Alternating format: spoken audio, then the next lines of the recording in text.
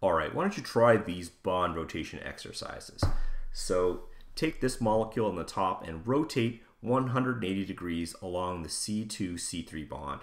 And then take this bottom molecule and rotate it, it 180 degrees along the C2-C3 bond. So work on it by yourself. Press pause. When you're ready, press play.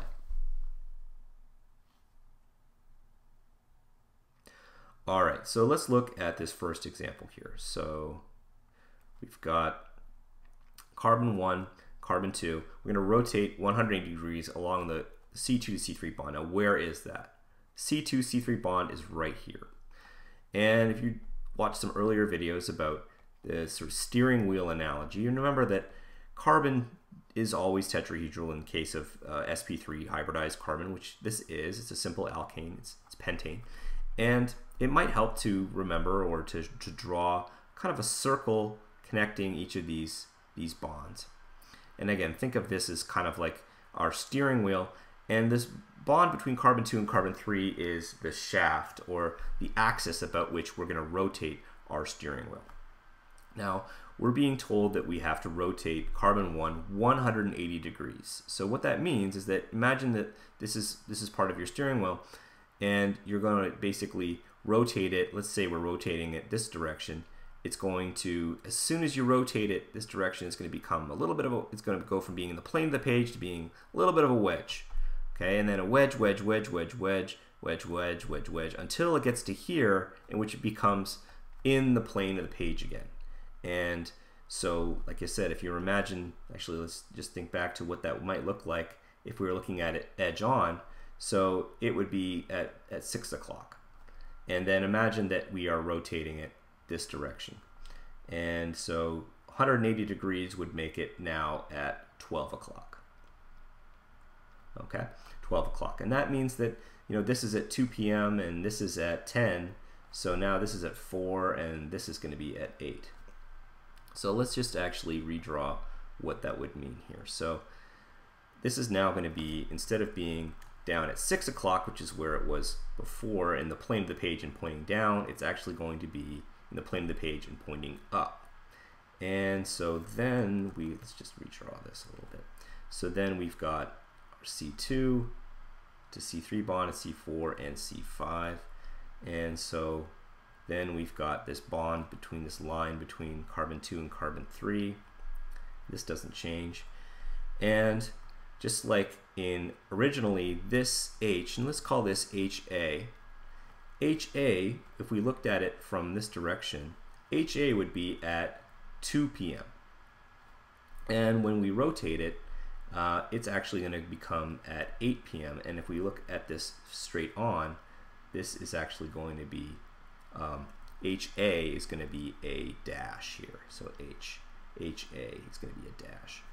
And HB, which we can call up here, HB starts off at 10 p.m. And if we rotate this 180 degrees, HB ends up at 4 p.m. And as we look at it from this direction, um, so if we looked at it from this direction, going this way, then this HB would be on our right. It would be at about 4 p.m. Okay, and carbon 1 would be at 12 p.m. So this is what the molecule would look like if we rotated it 180 degrees along C2 to C3 bond. All right, so let's look at this bottom example. So let's rotate this along the C2 to C3 bond. Here we don't have any tetrahedral carbons to worry about. These are this is a completely flat molecule. And this is a little bit like a hinge. Here's our here's our axis. We're going to rotate along the C2 to C3 bond. So it's a little bit like a hinge. We're going to basically rotate this alkene, let's say carbon 1. It can freely rotate around C2 to C3. Remember, it can't rotate along 1, 1 and 2 or 3 and 4, but it can rotate around 2 and 3. So we're going to rotate this um, just like we'd rotate a hinge. So if we kind of looked at this edge on, it might look something like, like this. And we're going to rotate this 180 degrees until it's actually in line with the uh, alkene. Both alkenes are in the same plane. So it's going to look like this. We've got our hinge here. Now we're saying that we're rotating carbon 1. Now you get the same answer if you rotated carbon carbon 4. It doesn't doesn't really matter for us.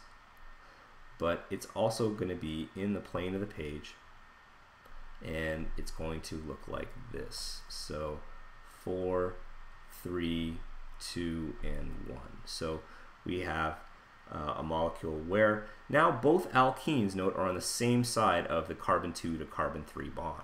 Whereas before, uh, the alkenes were on opposite sides of the C2 to C3 bond. So this nomenclature doesn't become important until much later, but um, might somewhere store in the back of your mind, this is called S-trans because they're trans along this sigma bond. So the S is for sigma. And this is called S-cis, where these alkenes are on the same side of the sigma bond. So that S stands for sigma. And these are conformations, so they, we can freely rotate between these two. But this comes important in a, a very important reaction in, in organic chemistry too when you get there.